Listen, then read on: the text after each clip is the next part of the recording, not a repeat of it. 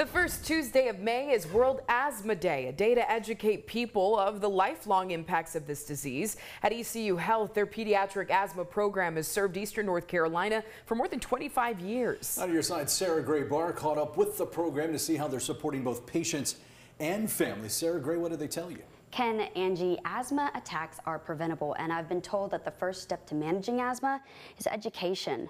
I spoke with respiratory therapists, clinic managers, and even parents to learn how ECU's program is helping children live better lives. Asthma is a respiratory condition, making it hard to breathe. It's set off by environmental triggers. It could be like um, seasonal allergies, kind of the environment. So recently we had that forest fire, so that was a big one. We saw an influx of patients for that. Emily Wood is the parent of one of the many children ECU Health treats. She says her daughter, Madeline, was diagnosed with asthma at age two after multiple hospital visits. She was my first child, brand new parent, and I was really scared and we didn't really know what was going on at first but then she was diagnosed with asthma. After diagnosis, Madeline received a visit from the pediatric asthma team.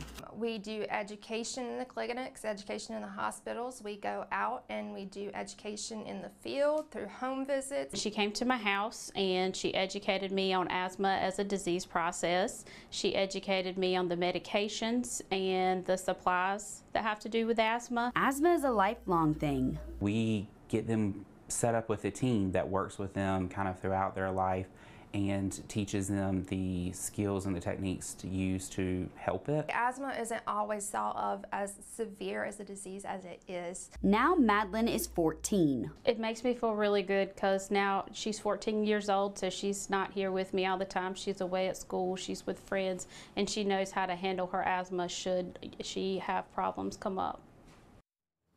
Those I spoke to say they want to lower the number of children going to the emergency department for asthma attacks and increase the overall quality of life for these children. We'll have the team's contact information on our website at WNCT.com. In studio, Sarah Gray Barr, 9 on your side.